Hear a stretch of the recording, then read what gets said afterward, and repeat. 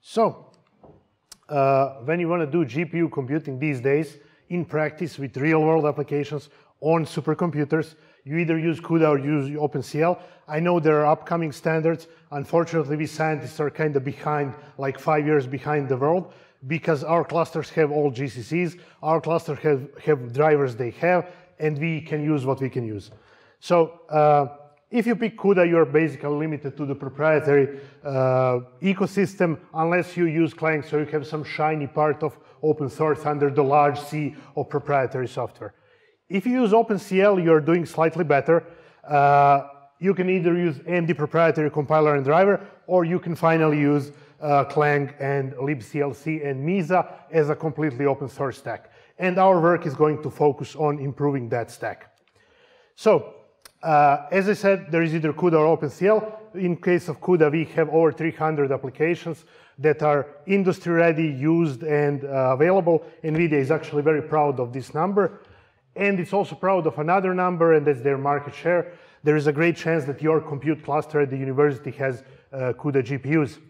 On the OpenCL side, we are not doing, unfortunately, so well, but still there are uh, roughly 70 applications listed on Wikipedia. There are probably more that, that Wikipedia doesn't know about. And out of those 70, there are 30 in the scientific computing category. Uh, a couple of them are benchmarks and toys and small applications, so uh, keep that in mind. Uh, when you look at those 30 scientific applications, some of them are actually very popular. Uh, the most popular uh, molecular dynamics code that simulates molecules uh, moving and stuff like that uh, is GROMACS. It actually supports OpenCL since 2015. And also LAMMPS, which is the second most popular tool. VMD is just a visualization tool.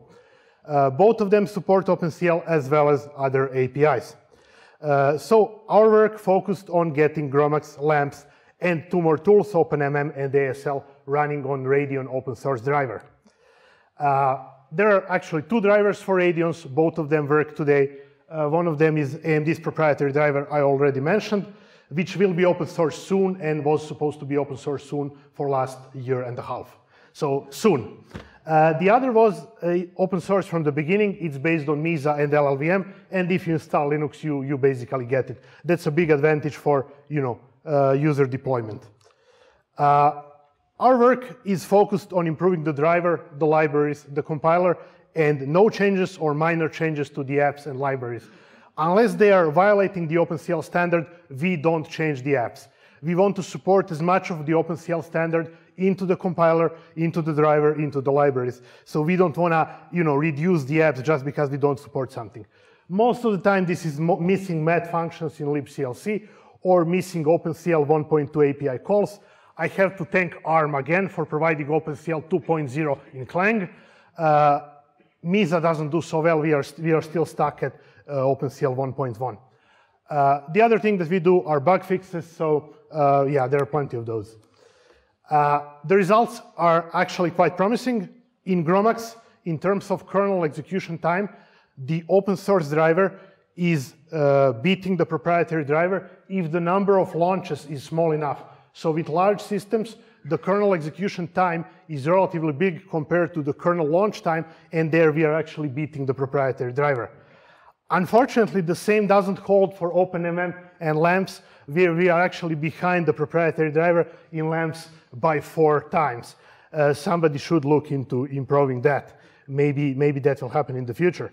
However, since AMD is unpredictable genius child that does some things very good and some things very bad, in ASL we are not beating AMD, we are actually beating it by 10 times.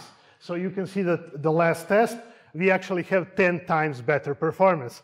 So as I, you know, the results are kind of uh, all over the, the scale, right? Uh, there is other tools that we would also like to get working. Blender is a great example. There is Beagle, which is phylogenetics library used by some of my colleagues. There is CLBLAS and CLFFT, which would enable us to run other uh, applications that depend on them. There is uh, other scientific applications which have OpenCL support, which a number of people have told me, I would use it if it worked, but if it doesn't work, you know, I'm not a driver programmer. I'm not going to stop my science to learn this stuff. And there is a number of benchmarks and hopefully another apps or libs you might care about, which I would like to hear about.